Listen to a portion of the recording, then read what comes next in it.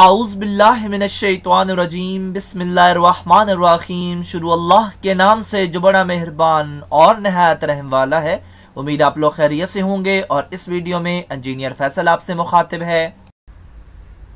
हमारी आज की वीडियो का टॉपिक है डी सेकेंड ईयर की मैथमेटिक्स एक्सरसाइज 7.3 है और क्वेश्चन नंबर वन के पार्ट 10 और 11 सॉल्व करेंगे। आपको अपने चैनल का इंट्रोडक्शन करवाता चलूँ। मेरे चैनल का नाम है केमिकल इंजीनियरिंग एजटेक और इस चैनल के अंदर मोर देन 500 लेक्चर्स अवेलेबल हैं और जिन सब्जेक्ट्स के लेक्चर्स अवेलेबल हैं, उनमें शामिल है industrial chemical process industrial stoichiometry chemical engineering organic chemistry mathematics और इसके अलावा इंजीनियरिंग से रिलेटेड इंफॉर्मेटिव टॉपिक्स अवेलेबल हैं और इसके अलावा आप मेरे चैनल को सब्सक्राइब करेंगे बेल का आइकन प्रेस करेंगे तो मेरी हर लेटेस्ट वीडियो आपको मिलती रहेगी।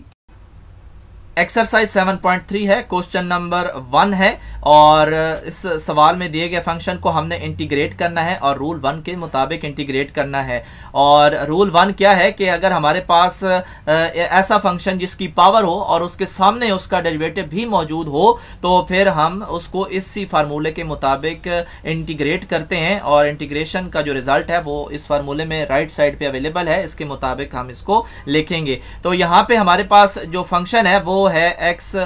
square plus three x plus four और इसकी पावर को इग्नोर करके हमने इसका डेरिवेटिव देखना है, और इसका डेरिवेटिव